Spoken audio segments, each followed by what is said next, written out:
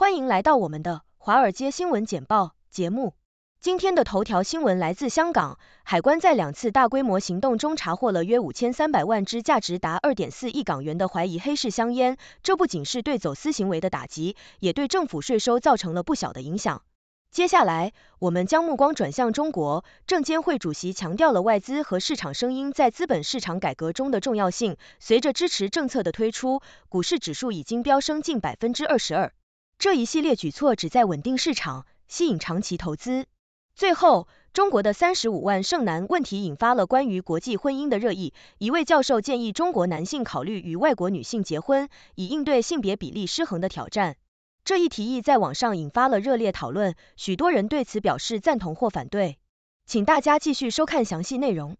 南华早报报道，香港海关在最近的两次大规模行动中，查获了约五千三百万支涉嫌黑市香烟，估计价值达二十四亿港元，约合三千零九十万美元。此次行动的目标是打击通过海路走私的商品。海关表示，其中约两千万支被称为“便宜白烟”的香烟，如果合法进口，将为政府带来约一点七亿港元的税收。在第一次行动中，海关检查了一艘从台湾抵达的船只，发现了一千一百万支涉嫌非法香烟。而在第二次行动中，海关在青衣水域截停了一艘船，查获了四千二百万支香烟。海关表示，将继续加强风险评估和情报分析，以打击非法香烟活动。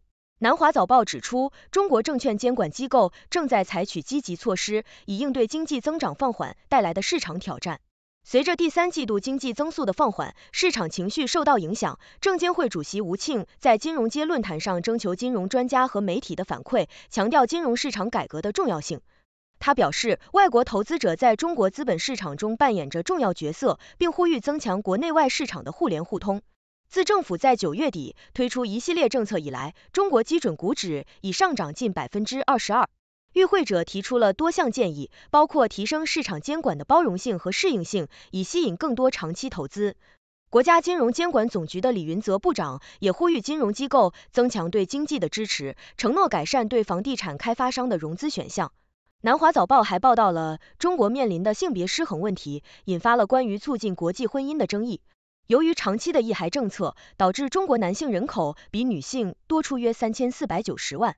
厦门大学的丁长发教授建议引入外籍新娘，以帮助那些面临婚姻压力的男性。尽管这一提议引发了大量争议，许多女性认为这类似于人口贩卖，但一些男性则支持这一想法，认为外籍新娘的要求较低且勤劳贤惠。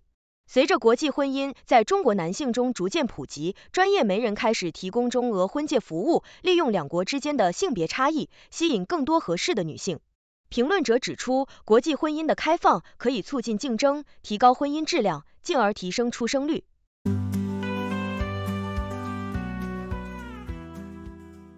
南华早报报道，亚洲股市即将迎来两年多以来最繁忙的新上市周，预计将有约二十家公司在本周五之前挂牌，融资总额可能高达八十三亿美元，约合六百四十七亿港元。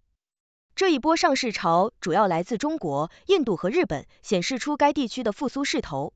香港的 IPO 市场正在经历动物精神的回归，市场情绪的变化使得公司急于在美国大选前筹集资金。中国资源饮料控股和自动驾驶技术公司 Horizon Robotics 将分别于周三和周四在香港上市，两者合计预计将筹集超过十三亿美元。市场观察人士认为，这可能会引发香港中国 IPO 的更广泛复苏。雅虎体育的大学足球节目深入分析了第八周 SEC 联赛的关键比赛，乔治亚州以压倒性的优势战胜德克萨斯州，田纳西州则逆转击败阿拉巴马。这一周，所有 SEC 球队均已尝到败绩，令季后赛形势更加复杂。节目中，分析师们讨论了 LSU 的表现以及印第安纳大学的崛起，并对迈阿密的四分卫 Cam Ward 表示赞赏，认为他的表现为球队注入了活力。而林肯·莱利的 USC 则面临困境，分析师们质疑他的执教能力是否导致了两个项目的失败。BBC 报道，德比郡的 Stavely 镇即将启动一项价值数百万英镑的重建项目，计划于下月开始。这项名为 Stavely 二十一的项目将包括新地标建筑的建设、市场广场的改善以及高阶的复兴，资金来自政府的城镇基金。项目的实施将为当地图书馆和新兴企业提供空间，并扩展市场的多样性，吸引更多家庭参与。该项目还将引入新的户外座位和自然游乐设施，旨在提升社区活动和社交空间。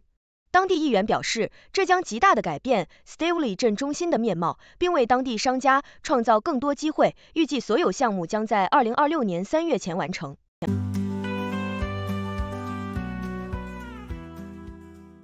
Nikkei Asia 报道，日本选民于周日投票，执政的自民党面临因政治筹款丑闻而失去多数席位的风险。与此同时，俄罗斯总统普京在喀山主持金砖国家峰会，来自中国的盟友习近平也将出席，而五十六个英联邦国家的领导人则在萨摩亚举行会议。韩国汽车制造商现代汽车在孟买成功上市，筹集了三十三亿美元，这是印度历史上最大的 IPO 之一。此外，东京地铁在东京证券交易所上市，成为自二零一八年以来日本最大的首次公开募股。越南和菲律宾则分别举办汽车展，越南政府为刺激汽车销售降低了注册费。周四，韩国公布季度 GDP 数据，显示出口强劲，但国内需求疲软。周五，吉尔吉斯斯坦举行总统选举，现任侵华总统马马乌预计连任。最后，日本的选举结果将揭示自民党能否在这场政治风波中保持其统治地位。六度解析，今日华尔街特别节目，全世界顶尖的媒体，全世界顶尖的智库，对时局的及时报道与分析，独一无二。六度解析，随时奉献。谢谢您的收看。上面播报的内容是六度团队推荐的全球专业媒体、智库。政府机构和行业专家的最新报道、分析简报，更详细的内容，请大家去这些媒体、智库的网站阅读。这些内容并不一定反映六度简报的立场，亦不能作为任何决策的建议。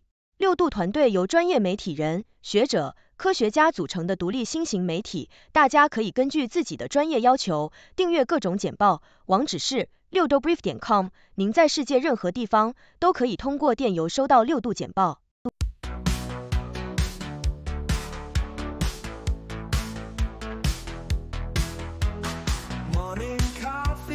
flesh off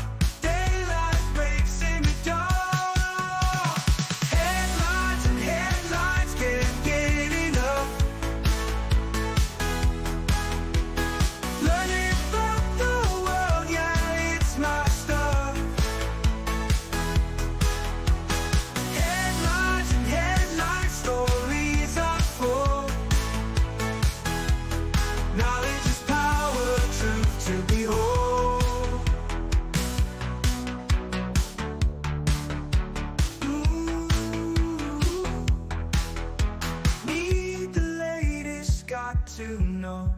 Never stopping, always go. Scrolling, swiping, reading on Daylight breaks in the door Headlines and headlines can't get